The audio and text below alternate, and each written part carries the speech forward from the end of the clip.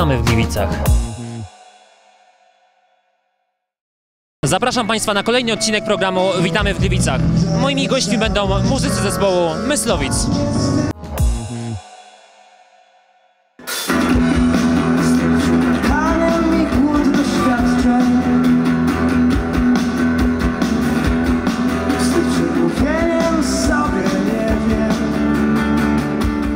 Mysłowic tutaj e, do Gliwic rzut kamieniem. Macie jakieś szczególne wspomnienia związane z tym miastem właśnie?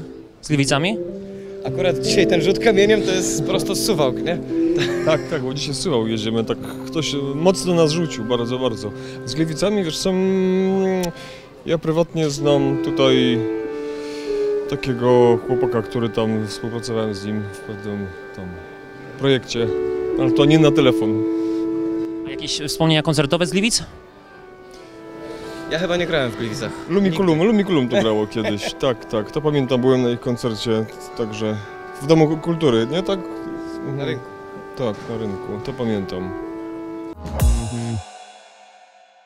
W tym roku mijają dwa lata od Waszego e, ostatniego albumu. Kiedy się możemy spodziewać nowej płyty? Wiesz co, no to tak obiecywać można z, z, co rok, że będzie za rok, że za, za, na koniec roku, na początku. Wiesz co, no jak ona się pojawi, to na pewno będzie ją widać, bo y, jest w trakcie przygotowań. Zrobiliśmy sobie taki trochę dłuższy urlop po 1500. Odpoczęliśmy i dopiero jakiś czas temu wzięliśmy się do roboty. Tak.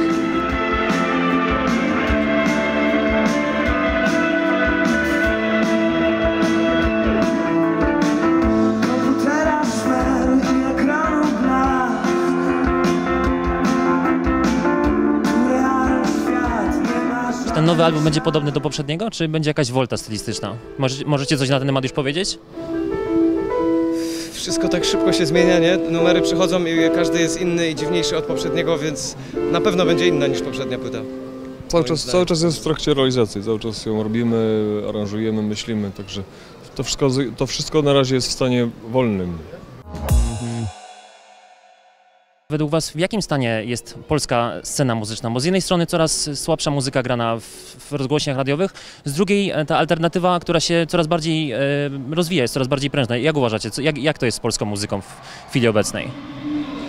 Jest jej coraz więcej, jak, jak, jak mówisz, świetnie, bardzo się cieszę. Jest mnóstwo, zrobiło się miejsc, gdzie można grać.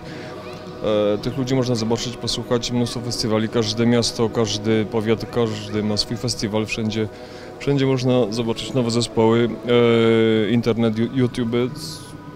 Bardzo się cieszę, że zrobiło się aż tak fajnie. Kiedy, był, był taki moment, że było bardzo ciężko, że e, nie było się gdzie prezentować, nie było gdzie, gdzie grać, a teraz od jakiegoś roku, dwóch zrobiło się tak ładnie.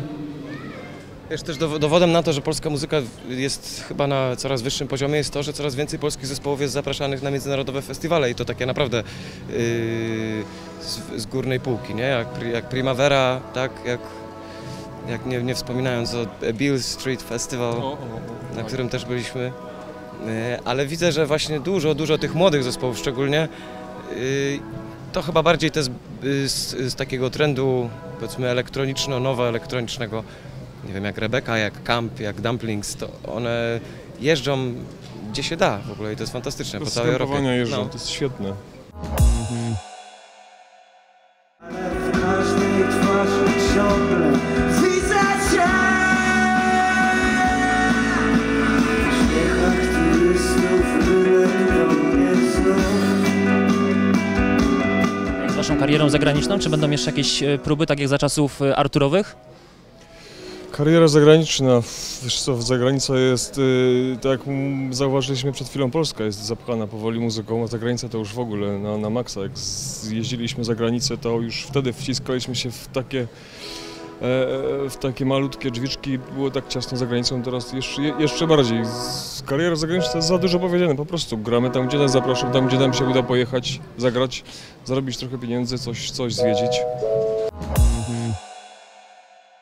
Jesteście wraz z Przemkiem głównymi tekściarzami grupy. Co jest dla Was inspiracją? Czy to są inni tekściarze, czy to są filmy, książki? Jak to u Was wygląda?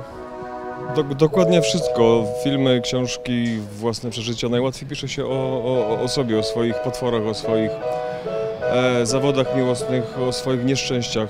No, inspiracją jesteśmy my, my. To, co, to, to, to, co, jest, nas, to, co jest w nas, w środku.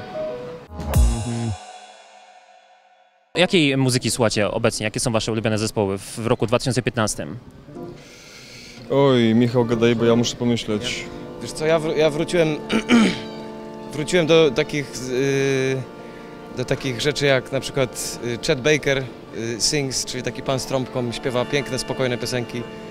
Takie, takie lata 50., 60., jazzowe. Na, ja słucham tego, ja słucham tego tyle, że nawet nie, nie potrafię ci tych y, zespołów powtórzyć. Puszczam Aki Radio, jest taki kanał internetowy, gdzie leci mnóstwo indie popowej, świetnej nowej muzyki, także tylko siedzę z kartką i wypisuję, to fajne, to fajne, to fajne, to fajne.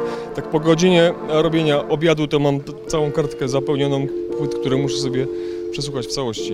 Mnóstwo muzyki słucham. Wojtek, teraz pytanie do Ciebie. Czy Ty kiedykolwiek rozważałeś wyjazd ze Śląska? No generalnie w tak zwanym show biznesie byłoby Ci łatwiej mies- mieszkając w Warszawie. Czy to w ogóle wchodziło w grę kiedykolwiek? Tak, rozważałem wyjazd na Florydę, tam jest tak fajnie, jeżdżą duże pick-upy, samochody wielkie, jest ciepło, benzyna jest tania, to tam bym chciał. Tam. A do Warszawy nie, nie, za dużo ludzi, Za daleko do morza. za daleko do morza. Czekacie? Ręce do góry